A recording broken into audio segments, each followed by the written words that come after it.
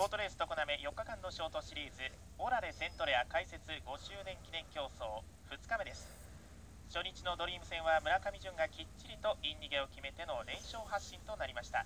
今日は早くも予選最終日セミファイナルの高枠争いそしてボーダーライン付近の争いにもご注目いただきたいと思います。それではオープニング第1レースの予選競争メンバーです。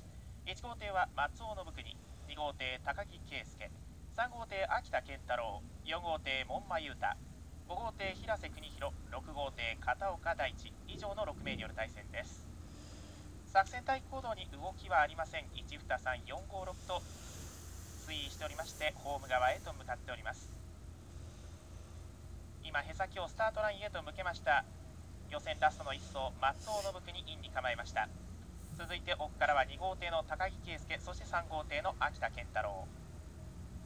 下げましてダッシュ勢は3艇4号艇の門馬裕太が4コース5コース6コースも定番通りに5号艇の平瀬邦弘そして6号艇の片岡大地です。3対3のスタイルに分かれました。第1レースの予選競争スタート10秒を切りました。進入はインコースから1番2番3番ダッシュ4番5番6番です。スタートしました。コース6コース6号艇の片岡大地が好スタートを切っていきましたがインから1号艇の松尾信国がまず逃げます。まくり差しはある。3号艇の秋田その上をまくってった4号艇の門馬裕太。4号艇の門馬裕太がまくりきまして大きなリードを取りました。その後ろは6号艇1号艇3号艇この辺りは水の前バック中間地点通過スタートは全艇正常でした。2マークへと向かいます。トップで4号艇門馬がクリア。2番手争い大混戦。最内から2号艇高木がいった。その外3号艇6号艇 V ギア切り込んでは1号艇の松尾と旋回。ホームへ戻ります。2番手争いですが1号艇と3号艇内外広がっての並走となりまして2周目です。2番手争い1号艇の松尾が内外から3号艇の秋田。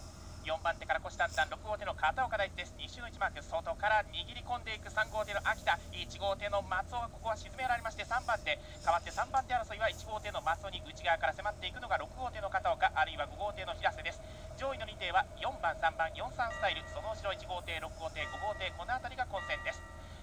の2マーク3番手争いですが内側から6号艇の片岡外を大きく回って1号艇の松尾 V 際5号艇の平瀬と回ってホームストレッチへと戻りました。ここは外を回った1号艇の松尾信慶が3番手優勢に運んでいきまして上位の3艇は431で最終周回です。しかしまだ4番手から近いところ6号艇の片岡大地です。3周の1マーク3番手先取っていく1号艇の松尾。6号艇の片岡はここは攻めきれませんでした。3番手は1号艇の松尾信国で上位の3艇は431です。その後ろは5号艇の平瀬6号艇の片岡ラストで2号艇の高木が続いていきます。最終コーナーの旋回を終えました。4号艇門馬2番手は3号艇の秋田。3番手1号艇の松尾で上位の3艇は431まもなくゴールです。先頭4番門馬合輪。3番秋田合輪。1番松尾合輪。5番6番6番5番接戦の合輪です。2番高木はラストで合輪